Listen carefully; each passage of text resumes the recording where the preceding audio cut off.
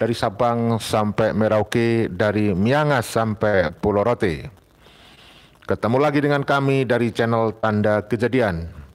Saudara, karena banyaknya permintaan dari teman-teman agar saya juga ikut menyuarakan, memviralkan bahwa Robito Alawiyah dalam hal ini adalah Bapak Taufik Asegab telah menolak hadir undangan dari Haji Romai Rama yang mengundang hadirkan Robito Alawiyah dalam hal ini Pak Taufik untuk ikut memberikan statement pernyataan dan diskusi bersama Bang Haji di podcastnya Bang Haji tetapi Robito Halawiyah menolaknya. Tentu ada banyak sekali alasan barangkali secara simultan bisa berlaku tetapi kita sebagai orang awam dan Anda semua boleh menduganya Kira-kira menurut prediksi panjenengan semuanya, apa kira-kira yang mendasari yang menjadi alasan penyebab yang melatar belakangi Robito Alawiyah Pak Taufik Hasegab tidak hadir. Nah, sebelum itu sambil menunggu Anda kumpul di channel kita, saya sampaikan semoga semuanya sehat walafiat. Sehat lahir dan batin tentunya semoga ditambah dan diluaskan rezekinya diberikan kemudahan dalam semua urusannya yang baik, diberikan keselamatan baik di dunia dan di akhirat. Amin, amin, ya robbal alamin. Saudaraku selalu kita ingatkan untuk selama di dunia itu dibutuhkan ilmu, untuk selama di akhirat dibutuhkan ilmu. Tidak sedikit pun dibutuhkan nasab dari oknum-oknum Habib Balawi yang ternyata Terbukti berdasarkan kajian kitab-kitab nasab, sejarah filologi mereka tidak terkonfirmasi sebagai keturunan Rasulullah. Berdasarkan kajian ilmiah loh ya, bukan fitnah. Dan berdasarkan ilmu genetika, tes DNA menurut Dr. Sugeng mustahil Ba'alawi sebagai keturunan Rasulullah. Terus terang, ini kita selalu ulang, kita surakan di awal pembukaan video kita supaya para pemirsa yang barangkali baru menemukan channel kita mengetahui bahwa Balawi itu berdasarkan kajian ilmiah kitab nasab sejarah filologi dia tidak terkonfirmasi. Berdasarkan kajian perilaku juga mereka tidak terkonfirmasi pengakuan sepihak mereka sebagai keturunan Rasulullah Shallallahu Alaihi Wasallam. Bahkan lebih jelas dan tegas berdasarkan tes DNA mereka mustahil sebagai keturunan Rasulullah. Kami sampaikan terima kasih kepada teman-teman saudara-saudaraku yang berkenan hadir kembali menonton channel kita dan kepada saudara-saudaraku yang baru menemukan channel kita saya sampaikan terima kasih. Mohon bantuannya untuk semuanya yang belum menekan subscribe untuk menekan subscribe, like dan tanda lonceng oh, agar membantu untuk kebertahanan channel kita ini ya saudaraku. Nah, kalau menurut saya, antara lain dugaannya saya setuju dengan Dr. Ubedillah Tamam. Ketidakhadiran dari Bapak Taufik Asegab bisa jadi karena memang Pak Taufik ini takut terungkap kedustaannya, takut terungkap kepalsuannya.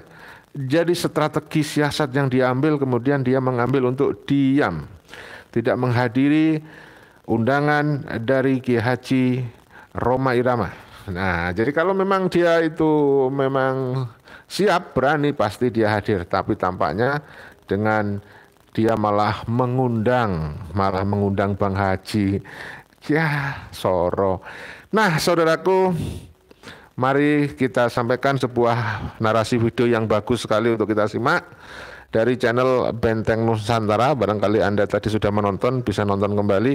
Ini untuk bahan diskusi kita ya. Setelah kamu nonton video ini, silakan tulis komentar Anda bagaimana sebenarnya alasan dari Pak Taufik Asegab kalau menurut Anda tidak hadir di undangannya Bang Haji Roma Irama. Mari kita simak videonya berikut ini ya. Semuanya memaparkan dengan baik dalam diskusi di channelnya Bang Roma memenuhi undangan Bang Haji Roma. Tetapi dari pihak kita tidak memenuhi undangan itu. Kami sangat menghargainya, namun mohon maaf, Romo Hararia tidak dapat memenuhi undangan. Selama ini di Arabika sudah berani mengeluarkan buku itu, buku yang mengabsahkan tiap-tiap individu yang mendapatkan buku itu sah sebagai cucu Nabi. Dan sistem kelas sosial yang mereka bangun seolah-olah di atas masyarakat pribumi oh ini kan sudah publik. Seharusnya ketika diundang untuk mem mempresentasikan atau memberikan pertanggungjawaban secara publik harusnya dari pihak itu tidak keberatan. Apabila saudara ingin memperdalam mengenai ilmu nasab bukan ada nih jika ingin tahu tentang nasab bisa ke Robita secara langsung. Dan pihak Robita akan memberitahu. Itu namanya jalur hegemoni namanya. Seolah-olah Robita itu sudah dalam posisi. Jadi sebagai sebuah simpulan eh, ketidaksiapan pihak Robita memenuhi undangan dan Haji Irama itu bukan karena jaga gengsi tapi juga ingin menutupi kedustaan kalau mereka tidak dusta mereka harusnya mau untuk diundang oleh Bang Haji Roma Irama Wow, tegas sekali yang disampaikan oleh Dr. Ubaidillah Tamam ya. Bisa jadi Pak Taufik itu karena ingin menutupi kedustaan ya. Masya Allah, Pak Taufik, Pak Taufik. Kasihan kayak kayaknya sama inti nih, kasihan. Bayangan Bang Haji Roma Irama mempublis surat balasan dari Robitah organisasi para habaib tentu sebelumnya sudah dimulai dari surat resmi Bang Haji terkait dengan niat baik Bang Haji mengundang pihak Robitah untuk berdiskusi, berdialog sekaligus niat baik Bang Roma memberikan ruang atau fasilitas sebagai sebuah kesempatan emas yang diberikan oleh Bang Roma kepada pihak Robitah untuk mengkonformasikan diri eh, sekaligus mempertanggungjawabkan secara publik dalam konteks etik bukan dalam konteks pengadilan.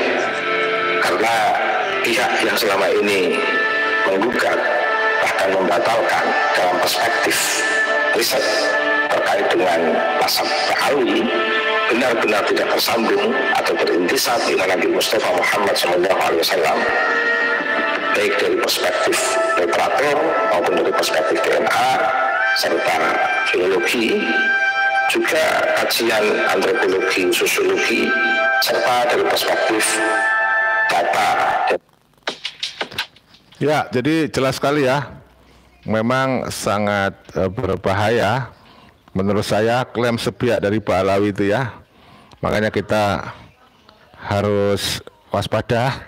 Setiap doktrin harus kita lawan dengan argumentasi bahwa Pak Alawi bukan keturunan Rasulullah, tapi tidak hanya apa ya, tidak hanya argumentasi, tetapi harus sesuai dengan bukti. Insya Allah telah kita alihkan sementara data yang ada di para duri Sama yang dipegang oleh beberapa kiai eh, itu menunjukkan bahwa Allah tidak melalui ta'alwi dalam konteks genealogi kenasabannya yang tersambung ila Nabi Mustafa Muhammad SAW dari hasil riset Kiai Majuddin Osman Dr. Sugeng dalam konteks DNA, kajian filologi dalam konteks yang telah dilakukan oleh Prof. Malahir Ali sama sekali tidak tersambung.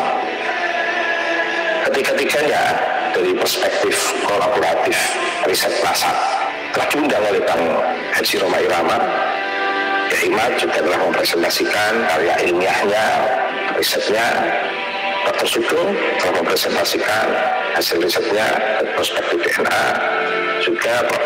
Marahim Ali juga telah mempresentasikan hasil risetnya dari perspektif filologi yang ketiganya bisa menjadi satu sistem riset kolaboratif sebenarnya sudah sudah menunjukkan bahwa riset ini itu betul-betul uh, memiliki kekuatan dalam konteks sistematika literatur review.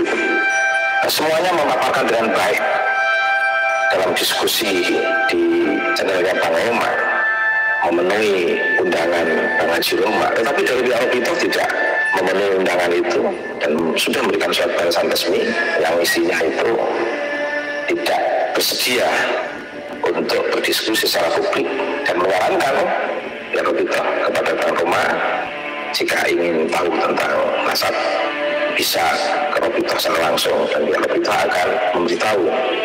Itu namanya jalur hegemoni namanya. Seolah-olah Robita itu sudah dalam posisi final catatan-catatan mereka sehingga orang lain datang untuk studi komparatif.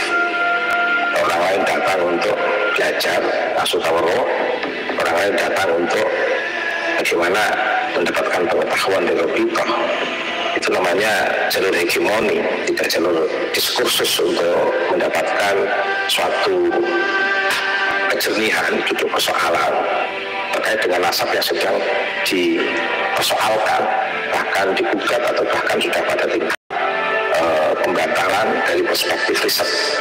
Sekali lagi pembatalan dari perspektif riset. Dan ini sangat kuat seperti yang kita sampaikan tadi.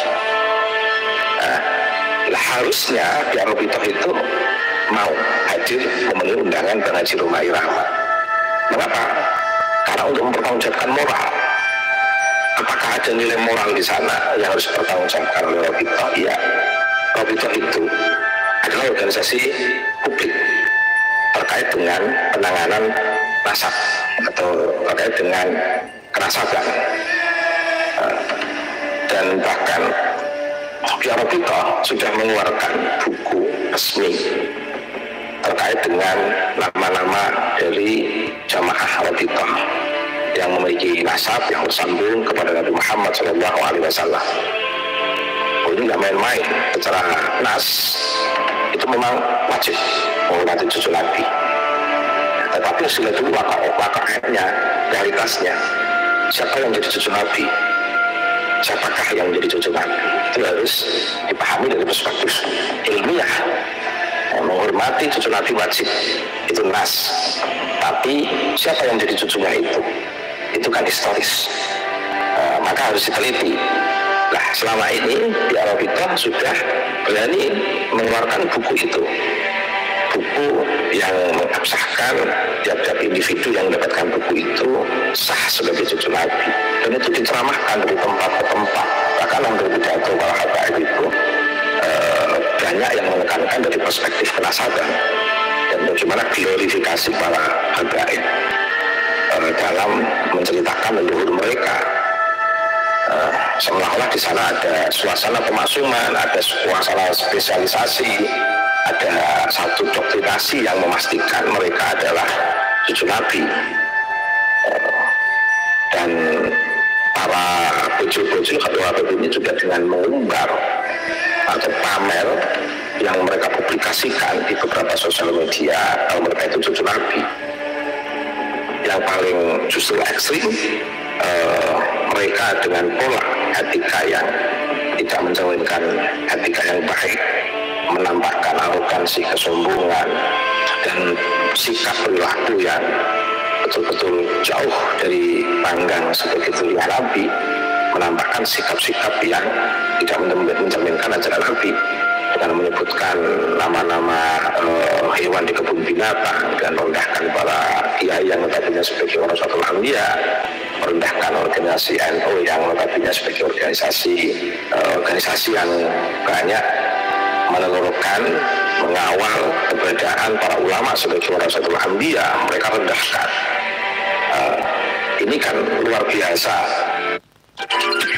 Ya, sebentar ya. Masih kita beri kesempatan. Ada yang mau lewat nih. Iya, sudah. Ini offside. Sudah melampaui batas uh, dan sistem kelas sosial yang mereka bangun seolah-olah di atas masyarakat pribumi. Oh ini kan sudah publik, sudah meluas. Seharusnya ketika diundang untuk mem mempresentasikan atau memberikan pertanggungjawaban secara publik harusnya pihak kita itu tidak keberatan tapi saya bisa memaklumi eh, ketika siapa kita ini sebenarnya bukan karena semata-mata jaga gengsi tapi sebenarnya jaga eh, kedustaan yang tersembunyi agar tidak terpublikasi. Kalau mereka tidak dusta terkait dengan kenasaban eh, kalau mereka tidak dusta harusnya mereka mau eh, memaparkan secara publik. Sebenarnya bisa saja dari kelompok Kiai Imat untuk mengajukan ini di pengadilan agar mereka mempertanggungjawabkan uh, kelasapan mereka di pengadilan sebagai bukti kalau mereka itu tidak dusta. Mereka harus bisa mempertanggungjawabkan. Uh, tetapi kelompok Ahmad Islam ini uh, kelihatannya tidak mungkin melakukan itu. Karena uh, kelompok Imaduddin Usman ini melakukan penelitian kerasaban itu bukan karena kebencian tapi karena ingin meluruskan sejarah dengan niat baik dengan berbagai pendekatan untuk bisa mengklarifikasi tetapi justru pihak kita yang tertutup sampai detik ini juga secara resmi kita belum menjawab uh, terkait dengan 12 pertanyaan dari iman uh, tidak hanya di situ pihak Kiai Ahmad bin Osman dengan penuh kesadaran memberikan edukasi kepada masyarakat terkait dengan kenasaban ini secara ilmiah dengan penuh perspektif akademik dan juga sekalian meluruskan sejarah e, bangsa ini yang juga dibelokkan oleh pihak Pak Alwi terkait dengan sejarah leluhur bangsa ini yang banyak dipahawikan ini sebuah kesadaran yang luar biasa, niat baik dari Bapak Himatul Asman untuk menjadikan pihak kita sebagai saudara, bukan orang lain. Sehingga tidak perlu dimasukkan ke uh, pengadilan. Uh, karena uh, kelompok Himatul Asman sadar betul bahwa kajian tentang asal itu kajian yang sangat sepele, tapi harus dipublikasikan. Karena kalau tidak dipublikasikan, nanti akan dijadikan sebagai alat untuk melakukan kedustaan atau kebohongan publik. Atau bahkan itu bisa menjadi alat untuk kapitalisasi. Eh, sehingga yang sering kita dengar itu eh, munculnya kapitalisasi nasab karena tidak diketahui tentang nasab mereka.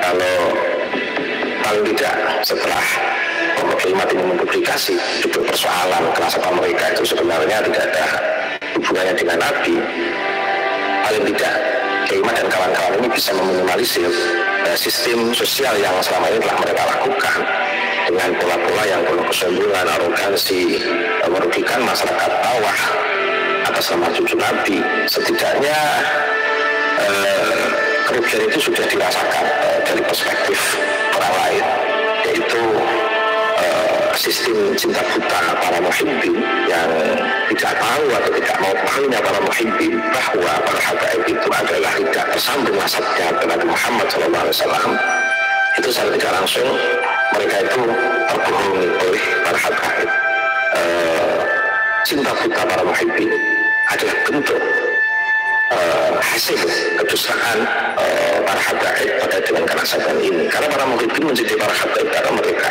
dianggap benar-benar sebagai cucu Nabi.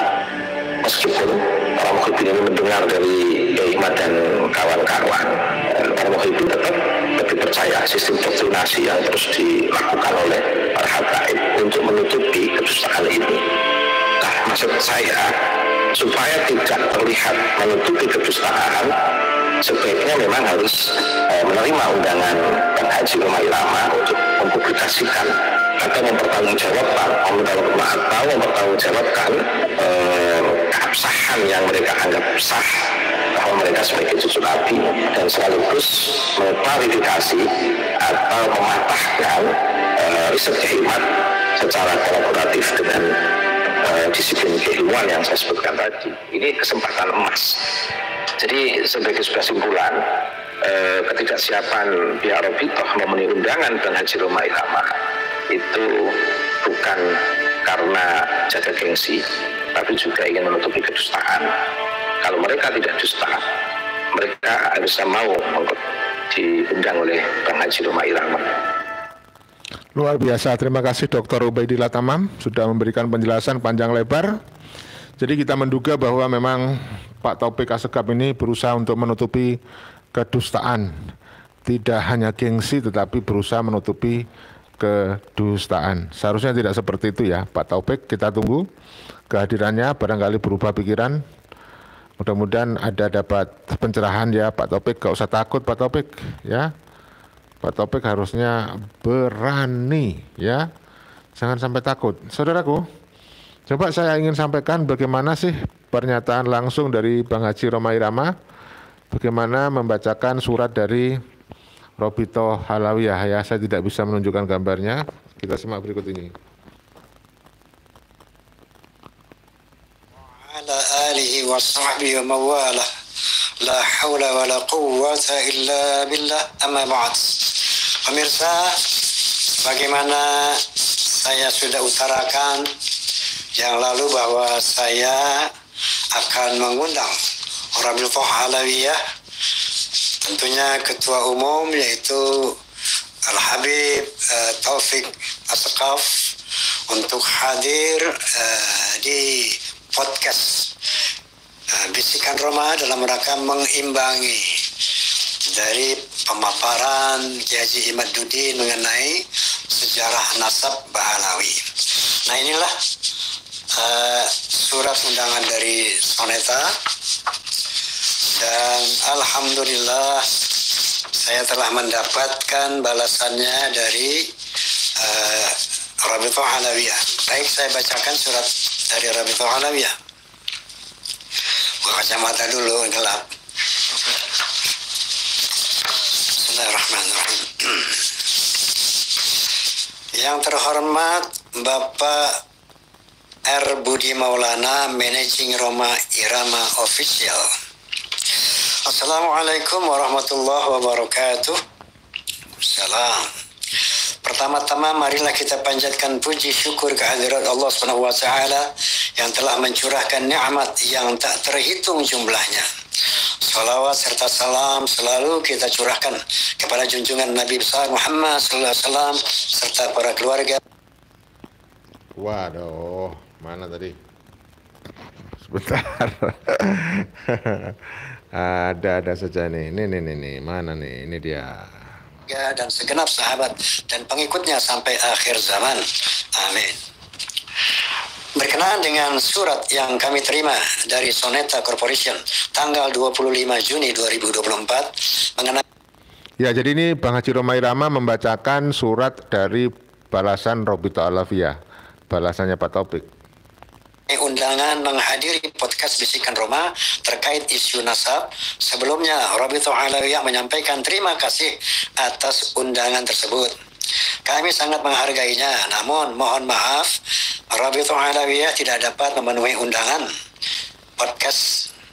Nah, namun maaf, Robito Alawiyah tidak dapat memenuhi undangan podcast Bisikan Roma karena Robitul Alawiyah adalah lembaga resmi yang akan menyampaikan hal tersebut hal terkait nasab sesuai dengan kaidah ilmu nasab dan peraturan organisasi.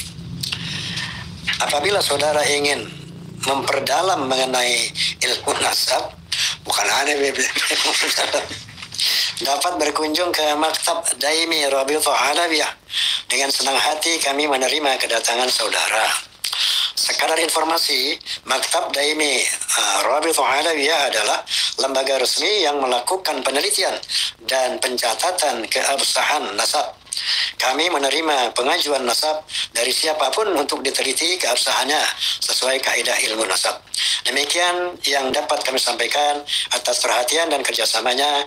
Kami ucapkan terima kasih. Wassalamualaikum warahmatullahi wabarakatuh. Dewan Pengurus Pusat Rabithah Alawiyah. Taufik bin Abdul Qadir Asqaf, Ketua Umum, dan siapa ini?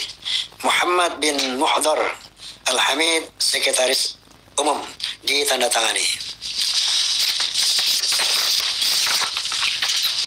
Oh, kalau saya tadi nggak salah dengar ya, Pak Muhdor Alhamid itu sekretaris ya.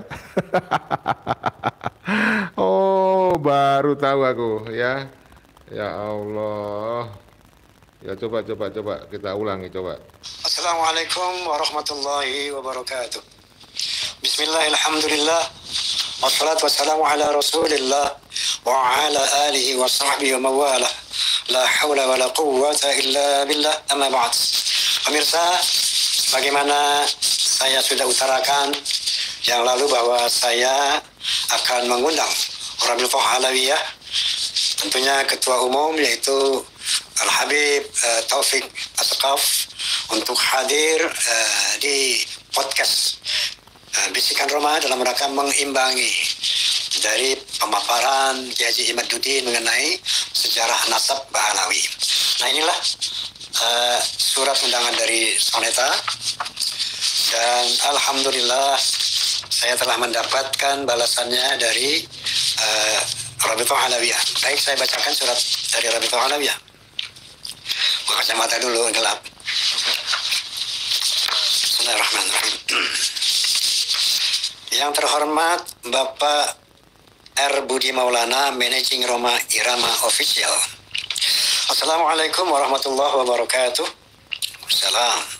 Pertama-tama marilah kita panjatkan puji syukur kehadirat Allah SWT yang telah mencurahkan nikmat yang tak terhitung jumlahnya. Salawat serta salam selalu kita curahkan kepada junjungan Nabi besar Muhammad SAW serta para keluarga dan segenap sahabat dan pengikutnya sampai akhir zaman. Amin.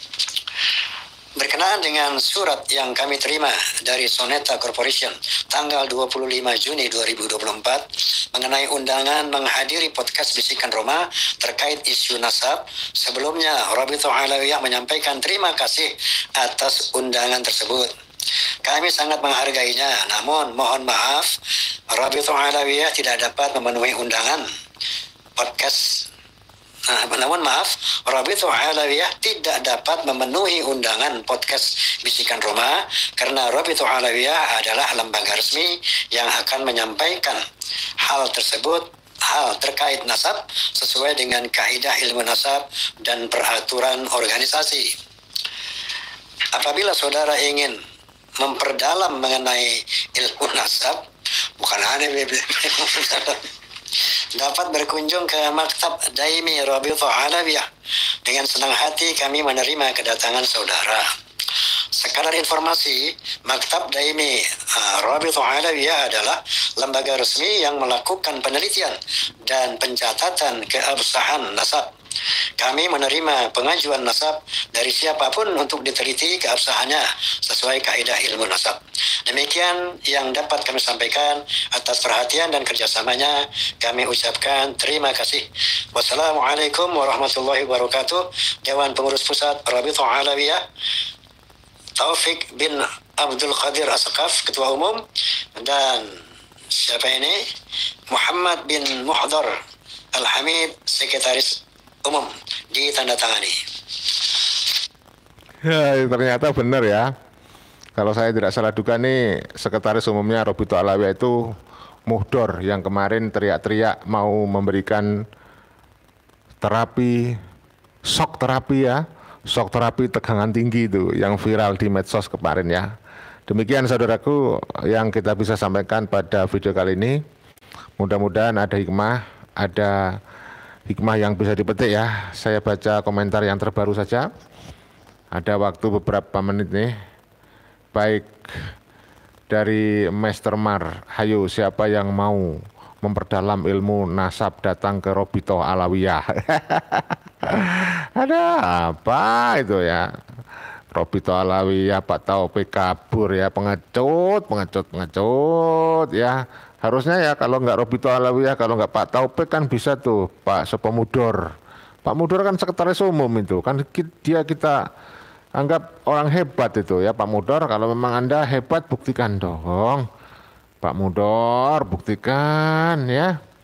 Uh, Subhanallah kebenaran ilmu tesis dan kemenangan yang mulia Al Alim Kiai Haji Madudin Usman Al Bantani ya. Terima kasih saudaraku sudah mendukung Kiai Madudin Usman ya Kemudian yang punya Al-Kaburi berarti si Topik, bukan Kiai Madudin ya jelas lah. Ya, yang kabur ya Pak Taufik lah, bukan Kiai Madudin lah ya. Karena Kiai Madudin itu pada saat di Kesultanan Banten itu bukan kabur, karena berbagi waktu, berbagi peran, kesempatan ya Kiai Madudin ke Jakarta. Itu waktu itu menghadiri seminar nasional di UIN Sari Bidayatullah. Sementara di Kesultanan Banten ada Tengku Kori gitu ya. Nah sekarang yang terbukti kabur siapa? Ya Pak Taufik lah ya. Nah, kasihan kan, kasihan sekali saudaraku ya Pak Taufik keok, keok, keok, keok, keok, keok nih diketawain ayam Pak Taufik ini ya. Aduh, masya Allah malu lah Pak Taufik mengaku-ngaku keturunan Nabi, tidak mengaku apa, tidak bisa membuktikan ya. Sudahlah, bangsa Indonesia harus sadar sekarang maka Pak Topik harus merubah nama organisasinya itu, bukan pencatat nasab Nabi Muhammad, tetapi pencatat nasab Balawi. Ya ingat itu. Kalau pencatat nasab Nabi Muhammad, keturunan Nabi Muhammad itu salah itu, pembohongan publik itu. Ya kan? Nah itu aja ya saudaraku sudah 30 menit mohon maaf kalau ada salah-salah kepada Pak Taufik, Pak Mudor mohon maaf ini untuk kebaikan Anda. Salam persaudaraan, salam Pancasila Jaya, salam NKRI mati, salam Bhinneka Tunggal Ika. Wassalamualaikum warahmatullahi wabarakatuh. Merdeka!